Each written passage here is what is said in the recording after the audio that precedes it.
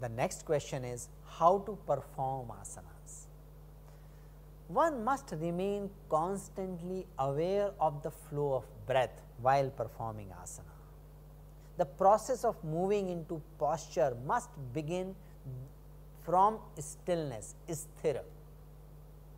Then move through inner stillness and return to stillness. So, Professor Parker mentions six steps. First step in performing any asana is centering. Bring back our attention to our body, bring back our attention to where we are.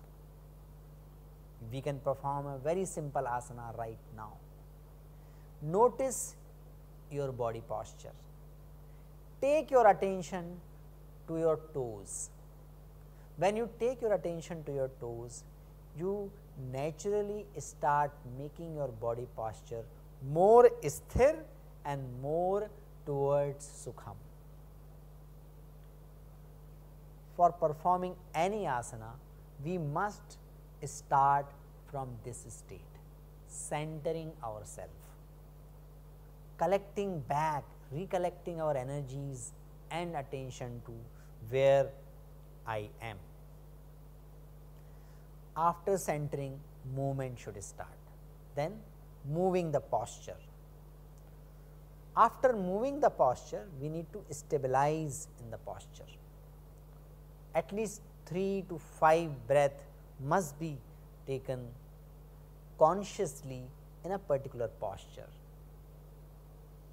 We can further deepen the posture and then move out of the posture and recenter for the same posture, same asana or for the next asana.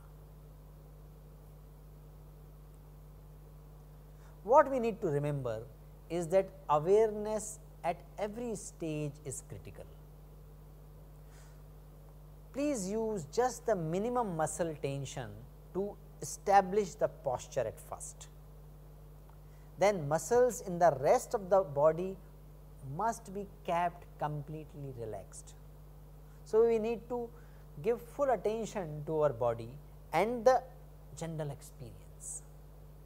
Then we have to expand the capacity mindfully.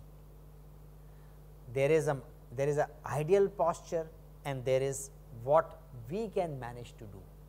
While performing asana, I may not be able to do it perfectly, but we need to keep the picture of the perfect posture, perfect state of the posture while performing that posture, while performing that asana. When we hold that perfect picture of asana, we can consciously, mindfully enhance our capacity to uh, practice that asana with the perfection. Be there till tension relaxes remaining in the stress is not at all can be said to be in the asana. Whatever asana we are performing, we must experience the relaxation into it. We must be able to relax ourselves. So, that uh, prana alone can hold the posture. While performing asana, we should not pause the breath otherwise that will create tension and that will block the flow of prana.